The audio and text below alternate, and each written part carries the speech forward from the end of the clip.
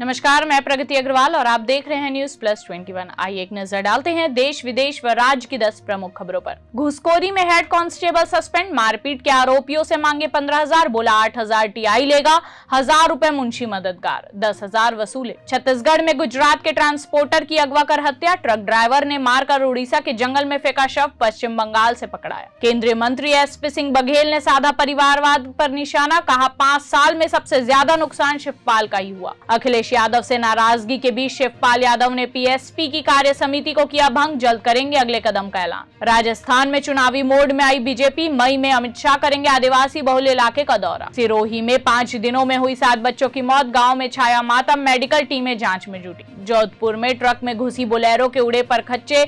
मौके पर छह की मौत। कुलदेवी के दर्शन करने जा रहा था परिवार। बेंगलुरु में भारी बारिश। अगले बहत्तर घंटों तक बारिश के आसार व शहर में आज येलो अलर्ट। रांची में दो युवतियों के साथ गैंगरेप, पाँच आरोपी गिरफ़्तार। सहारा प्रमुख सुब्रत रॉय सहित नौ पर एफआईआर, निवेशकों की राशि नहीं लौटाने का मामला। ऐसे ही तमाम जानकारी के लिए हमारे चैनल को लाइक और सब्सक्राइब करना ना भूलें और नोटिफिकेशन के लिए बेल आइकन ज़रूर दबाएँ।